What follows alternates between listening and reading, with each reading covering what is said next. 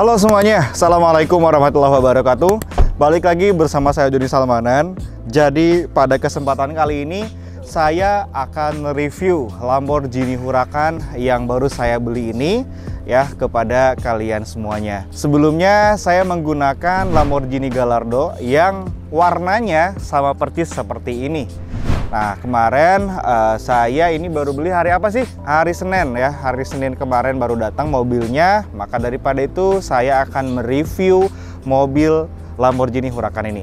Tapi untuk di dalam video ini saya akan lebih fokus bagaimana cara saya bisa membeli Lamborghini ini. Ya jadi nggak fokus ke review, nggak fokus ke harganya berapa gitu ya, tapi lebih fokus ke dalam cara mencapai si Lamborghini Huracan ini. Oke? Nah buat kalian yang sedang menonton video ini, jangan lupa di subscribe channel YouTube-nya dan jangan lupa di like juga videonya karena nanti akan ada giveaway motor Beat besar-besaran guys buat kalian semuanya. Oke, ini adalah Lamborghini Huracan LP610 04 sebetulnya untuk Lamborghini ini udah banyak modifannya juga ya guys ya. Nah untuk di bagian depan di sini saya uh, sudah menggunakan karbon dari Novitec ya untuk di bagian depannya. Dan ini sangat-sangat lebih sporty banget gitu ya untuk di bagian depannya. Jadi kalau misalkan ini masuk basement kayaknya uh, takut gasruk lah gitu ya.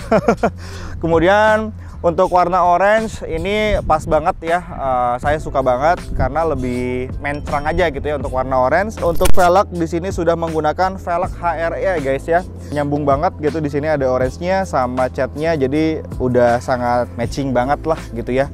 Nah terus untuk di bagian belakang juga udah menggunakan wings ya, tambahan juga menggunakan Novitec. Kemudian di bagian exhaustnya atau knalpotnya sudah diganti menggunakan Novitec juga. Kemarin saya beli Lamborghini Huracan ini beli bekas. Ini unit tahun 2016. Kemudian kilometernya baru 2500 2300, lebih rendah banget ya. Karena untuk sekitaran uh, supercar itu kan nggak akan mungkin dipakai setiap hari gitu ya. Makanya mobil tahun 2016 dengan ukuran kilometer baru 2500 ya masih kehitung kayak baru gitu ya.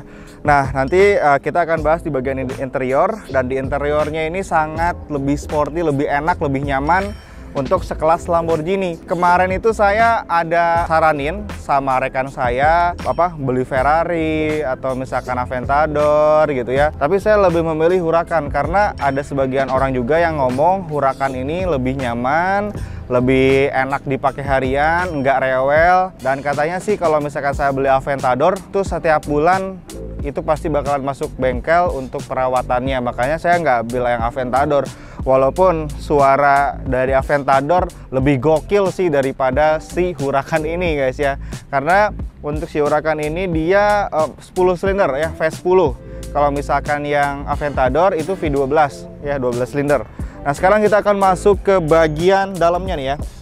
Ini gila banget sih untuk di bagian dalamnya juga keren banget. Yuk kita langsung saja masuk ke dalam. Di bagian dalamnya ini sangat sporty banget ya, lebih enak ya gitu ya dilihatnya. Kemudian untuk joknya juga sama, lebih sporty dan semua pengaplikasian uh, yang ada di Lamborghini Huracan ini itu berada di bagian speedometer. Jadi kan awalnya uh, saya pakai BMW ya, BMW sama Lamborghini Gallardo itu kan pengaplikasian kayak menu, navigasi, informasi, back semuanya ada di dashboard. Nah kalau misalkan ini enggak guys, jadi disatukan dengan speedometernya. Dan ketika duduk di Lamborghini Huracan ini, tentu ini rasanya lebih nyaman, lebih nyaman dan ngelihat jalan ini nggak harus uh, nggak harus kayak gitu nih guys. Jadi dengan duduk biasa seperti ini sama halnya ketika saya naik ke mobil BMW, naik mobil HRV gitu. Jadi sama oh, untuk rasanya. Karena setiap mobil itu saat kita mendudukinya, saat kita menggunakannya, rasa dan feel-nya itu berbeda-beda guys. Dulu saya pernah uh, naik Lamborghini Aventador uh, di satu di salah satu bengkel wrapping. Pas saya duduk, kayak gini banget guys. Jujur sih kurang enak kemudian lihat jalan susah gitu. Nah kalau Huracan ini lebih nyaman kemudian bisa dipakai harian juga. Kemarin waktu Senin waktu datang uh, mobilnya itu saya sering pakai keliling-keliling dan nggak overheat gitu kan. Saya nggak worry juga mobil ini uh, gampang panas atau gimana dan luar biasa. Huracan ini emang the best banget guys. Jadi buat kalian yang lagi nyari atau kepengen beli supercar di brand Lamborghini, saya lebih menyarankan menggunakan Huracan. Serius deh, gue nggak bohong. Uh, Gallardo suspensinya agak sedikit keras, agak gedug-gedugan gitu. Aventador susah lihat jalannya, jalannya Uh, kemudian ya udah ini Huracan Huracan paling the best. Harganya juga nggak lebih dari 1 10 m untuk harga bekasnya ya. Tapi kalau misalkan untuk harga barunya jelas uh, pasti di atas harga 10 m apalagi Aventador. Guys SPG 25 miliar.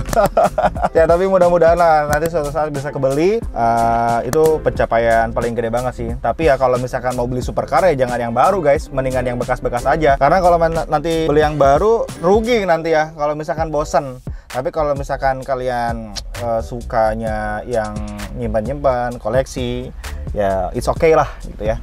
Nah, jadi sekarang gue lagi nge-review Lamborghini Huracan ini di kantor Kabupaten Bandung guys ya, yang di mana pada waktu dulu setiap hari Minggu kalau misalkan ada orang yang nikahan di gedung kantor bupati ini, saya sering markiran guys ya. Eh, dia mah cerita lah gitu di masa lalu.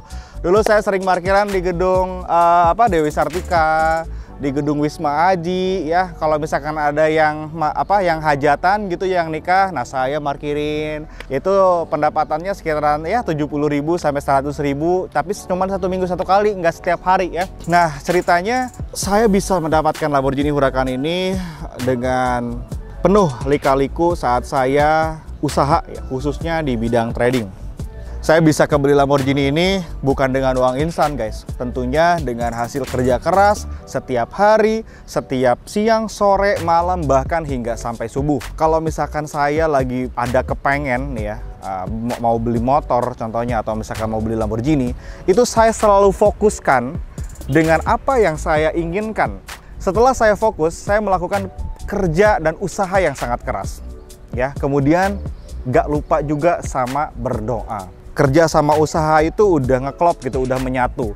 Kalau misalkan kita kerja tanpa doa, hambar. Kita berdoa tanpa usaha, tetap hambar. Jadi antara syariat dengan hakikat itu harus menyatu ya. Kalau misalkan sudah menyatu, apa yang akan kalian, apa yang kalian pengen, apa yang kalian inginkan, semuanya pasti akan terwujud ya. Saya, jadi gini, saya tuh orangnya selalu mikir panjang, selalu mikir panjang ketika saya dulu belum punya apa-apa, contoh belum punya motor lah, belum punya supercar, belum punya sport car, itu selalu berpikir panjang bahwasanya nanti suatu saat saya yakin pasti bakalan sukses. Entah bagaimana cara Tuhan mensukseskan saya. Yang penting saya mikir panjang dulu. Yang penting saya mempunyai impian saya bakalan sukses. Setelah mempunyai impian, ya kepengen dan mikir panjang itu harus tetap harus ada usahanya Ya kalau misalkan kita belum nemuin usaha yang ngepas sama kita ya udah terus ulik aja semua pekerjaan-pekerjaan yang ada. Nah, nanti setelah kalian mengulik beberapa pekerjaan itu akan ada satu pekerjaan yang nyambung ya, yang nyambung sama diri kita. Dulu contohnya saya jadi tukang parkir dulu, saya ngelamar ke pabrik dulu, saya ngelamar jadi office boy di Samudra Terserba dulu di Soreang, jadi marketing di salah satu bank Sinarmas ya di Soreang di Ciburial juga. Itu saya banyak banget lika-likunya markiran dulu, jadi kuli bangunan dulu. Jadi itu saya ketika saya belum menemukan fashion pekerjaan saya yang ngepas, saya terus ngocok gitu. Oke. Okay. Ngocok pekerjaan ya, bukan. jadi saya terus mengulik di mana nih yang cocok. Nah, kemudian di salah di satu waktu saya menemukan usaha yang benar-benar ngepas gitu sama saya, yaitu di bidang trading saham. Uh, ketika saya bisa membeli atau misalkan bisa menghasilkan uang dari saham bukan berarti kalian harus main saham juga ingat ya saya nggak pernah ngajak maksa orang untuk trading karena trading itu juga penuh resikonya tapi mungkin karena ini udah fashion saya udah usaha yang jalannya seperti ini sama saya makanya saya bisa menghasilkan semua apa yang saya impikan melalui trading ya instrumen trading ada saham forex binary option cryptocurrency banyak pokoknya jadi nggak di satu bidang aja. Nah ini adalah salah satu uh, pencapaian terbesar saya. Semua apa yang saya impikan pada masih kecil ya. Uh, dulu pengen Lamborghini kan waktu SD, sekarang bisa kecampaian. Terus pas uh, umur 16, 17, 18 saya pengen punya penghasilan sendiri. Alhamdulillah. Sekarang saat ini saya bisa mempunyai penghasilan sendiri dan alhamdulillah ya pencapaian terbesar itu gue bisa bikin orang tua gue berhenti bekerja santai enjoy dan dia bangga gitu. Itu pencapaian bikin bahagia banget itu ya itu di orang tua.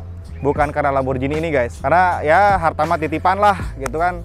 Orang tua nomor satu ya kalau misalkan orang tua kita ridho maka Tuhan juga pasti bakalan ridho gitu nah pesan saya di sini untuk teman-teman semuanya tetap satu satu ayat aja jangan pernah menyerah untuk mencoba dan jangan pernah mencoba untuk menyerah dalam berbuat baik. Yang ada di dalam diri saya ini satu, never give up, nggak pernah nyerah, ya. Kalau saya apa terjun ke dalam satu usaha, kemudian ada salah satu ujian yang bikin saya nggak enak, jangan berhenti di situ aja, maju terus. Ini misalkan ini uh, sukses nih ya, kita masih di Soreang. Ini kalau misalkan jalan tuh harus lika-liku, ada polisi tidurnya, ada belokannya. Kita harus kuat guys saat dalam perjalanannya. Jadi tempelkan ya, tempelkan rasa semangat, jangan menyerah di dalam diri kalian. Tek gitu. Jadi semua kesuksesan itu berawal dari diri sendiri. Kalau kitanya nggak ada niat, kalau kitanya nggak ada semangat, kalau kita nggak berinisiatif, nggak berpikir panjang, susah banget guys untuk bisa menghasilkan uang sendiri, apalagi kalau misalkan kesukses jauh banget. Nah, terus pesan dari saya juga jaga pergaulan. Lingkungan adalah hal yang sangat mempengaruhi psikologi kita. Apabila kita bergaul dengan orang-orang yang kebanyakan orang-orang yang bermalas-malasan, orang yang tidak berpikir panjang, nanti susah gitu loh. Susah ke kitanya untuk berkembang. Jadi pengennya tuh kayak ya udah rebahan, main game gitu kan. Jadi nggak ada inisiatifnya gitu kalau misalkan kita selalu uh, apa namanya berada di lingkungan tersebut. Tetapi kalau misalkan kita ada di lingkungan tersebut, kita yang harus sadar duluan. Kemudian membangun lingkungan kita yang tadinya banyak yang rebahan dulu, jadi berinisiatif, jadi berdikari, jadi usaha. Ya, jadi saya tahu nih ya, kalangan remaja saat ini banyak banget orang yang dompetnya tuh tipis tapi gayanya tuh selangit banget anjir. nah itu tuh sifat-sifat kayak gitu coba deh diilangin, dikurangin. Kalau diilangin 100% kayaknya nggak mungkin jadi harus dikurangin dulu satu persen. Besoknya dikurangin dulu dikurangin. Jangan gengsian juga. Kebanyakan gaya jangan banyak gengsian. Usaha apa pun silahkan laksanakan. Yang penting mah halal gitu. Kalau ada orang yang kayak gitu tes saya mah suka senyum sendiri sih. Karena saya dulu juga untuk hal-hal seperti itu ada masanya gitu. Ada masanya banyak gaya ada masanya gini gini gini. Tapi jangan dibiasain. Ya jangan dibiasain mendingan dilewatin aja dilewatin aja langsung merih merih merih itu jadi usaha. Ya mungkin untuk pesan-pesan saya seperti itulah. Uh, perjalanan saya juga sangat panjang guys untuk bisa mencapai Lamborghini ya. Mencapai Superbike dan lain-lain. Sangat panjang. Jadi buat kalian sekarang semoga kalian bisa terinspirasi dari semua apa yang saya sampaikan di dalam video ini. Mohon maaf juga apabila ada perkataan saya yang kurang enak atau ada yang uh, perkataan saya yang salah, sorry banget karena uh, saya hanyalah manusia biasa gitu ya yang tidak luput dari kesalahan. Jadi sorry kalau misalkan ada perkataan saya yang kurang enak. Oke, jadi untuk review Lamborghini-nya sampai di sini dulu guys. Thank you banget yang sudah tonton video ini sampai habis. Saya Dudin Salmanan, izin pamit. Wassalamualaikum warahmatullahi wabarakatuh.